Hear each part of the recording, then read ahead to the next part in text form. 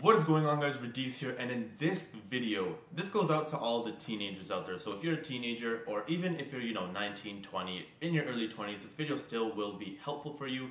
In this video, I'm going to tell you guys my personal finance tips and my personal tips for, I guess, life in general, and what I think you guys should be doing at your young age. Um, so I guess a bit behind me, if you don't already know who I am, my name is Radies. Um, at the age of 18, I got my real estate license. Um, I'm currently 20 years old. I've done a lot of things. You know, I've wrote a book. Um, I've hit multiple um, five figures in sales uh, just from like my Instagram pages. I've run multiple successful businesses. I have a mentorship program, um, and I also do have like a course, so kind of like a mentorship slash coaching program. Right there, if you guys can see that says Join Seeking Success. There's a link down below if you are interested in my course. But without further ado, what do I think you should be doing at a young age? So here's tip number one. Um, Tip number one is don't spend money on things that you don't think you'll need in a few years. So one thing that I did, especially in high school, was I would buy a lot of clothing items that were kind of expensive.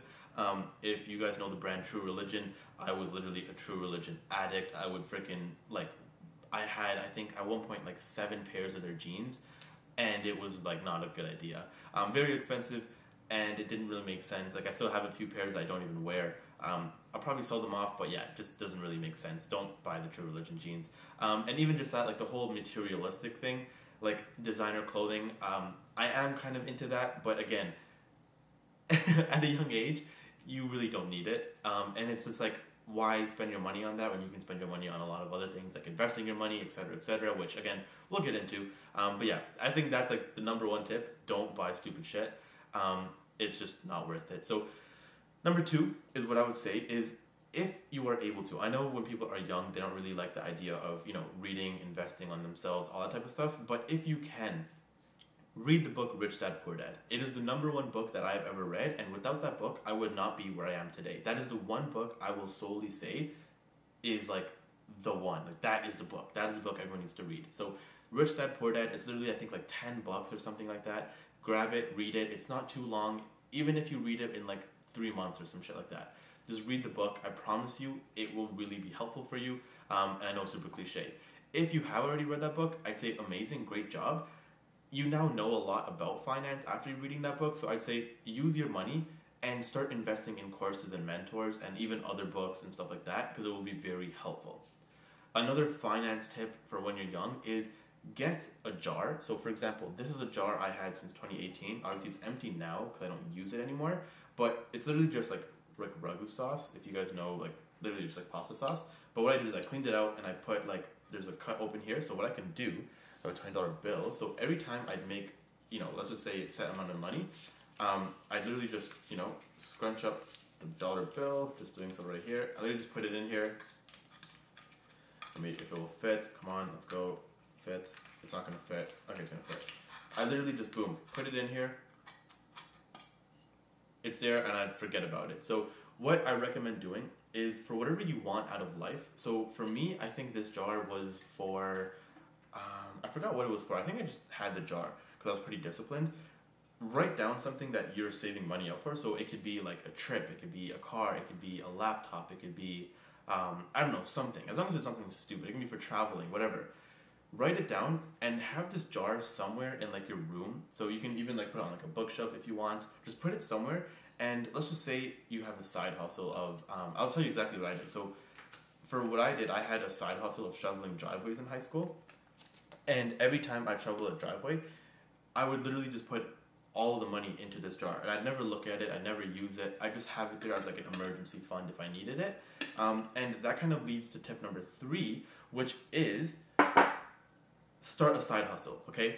Um, if you don't have time to get a job, like me personally, I never had a job in high school.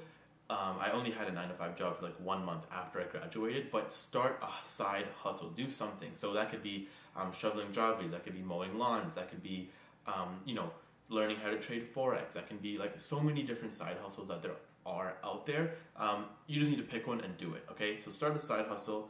Um, again, if you don't want to start a business that's like, you know, an online business, because that's kind of hard, I understand, but there are a lot of things you could do. Um, you can flip stuff off Kijiji, Facebook Marketplace, just flipping things. There's so many side hustles you can do, and I strongly recommend having a side hustle will do a lot of things. Like, one, you'll be able to make a lot of money, um, you'll be able to save that money, and two, like, you'll be able to really understand how like the real world the real world works. Because again, if you're starting a side hustle where you're um, shoveling driveways and you're going door to door knocking, like you're gonna learn a lot of skills. You're gonna learn how to talk to people. You're gonna learn, you know, how I guess business works in a sense. And eventually, you can get to a point where you can understand. Okay, like this is how I can make money with side hustles, and your mindset will just start to shift. You'll think, okay, what can I do more now? What else can I do with this, right? Another thing I would say is before um, hitting the age of 20, so after you hit 18, I'd say it's very important to make a TFSA or a RRSP, so um, a tax free savings account, or I think a registered retirement savings plan or some shit like that. I forgot what it's called, but one of the two, a TFSA or an RRSP. And what you want to do, or RESP, one of the two, I don't know, just Google it. A TFSA is what I have, and pretty much this allows me to start investing into stocks. So I bought my first stock when I was 18 years old. Um, I bought Tesla at I believe like 256 or something. I made a shit ton of money off Tesla stock if you don't already know. But buy your first stock. I think it's very important. I think it's essential, and I think it's something that will really help you out just in the long run. If you pick a good stock and you just hold it, great. Like you're already going to be much better off financially than most adults. Like a lot of people, they don't even own stocks to begin with. I'd say look into stocks, um, especially if you're someone who is really like an entrepreneur or you're just kind of you know going into school, doing university, whatever. Stocks are a great way to park your money. And again, if you have a lot of cash set up, great, park your money.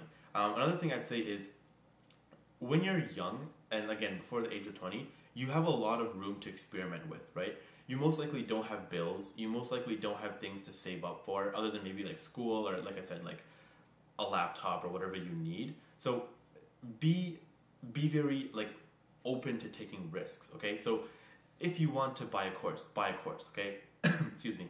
If you want to invest into like a stock, just go ahead and do it. Right? Don't overthink things because even if you do lose money, it's a lot better that you're losing money at a younger age and learning from these mistakes as opposed to doing it when you're older and then you don't have enough time to learn from your mistakes, right? So, for example, like, man, I've made so many mistakes. I've wasted money on a lot of things, like I said.